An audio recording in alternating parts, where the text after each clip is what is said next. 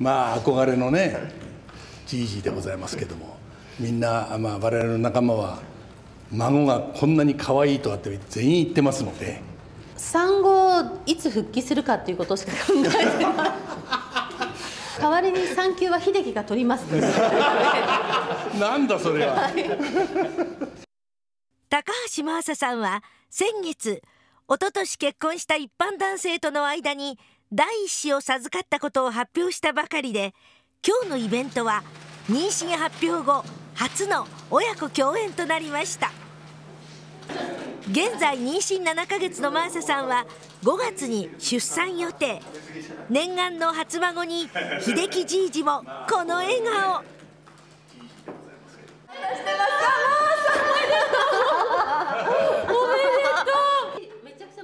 親子とっても幸せそうな妊娠公表後初ツーショット。いやお腹の赤ちゃんも合わせると初めてのスリーショット取材。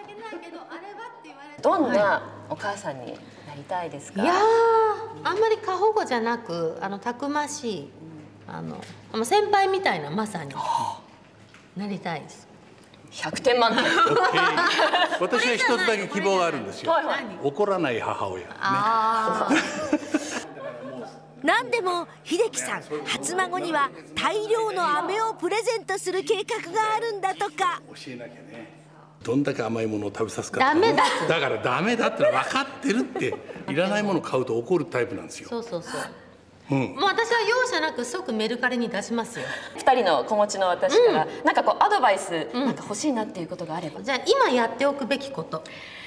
一人で何かを食べること、麺類を食べること、うん。子供ができると子供のお世話で麺が伸びちゃう。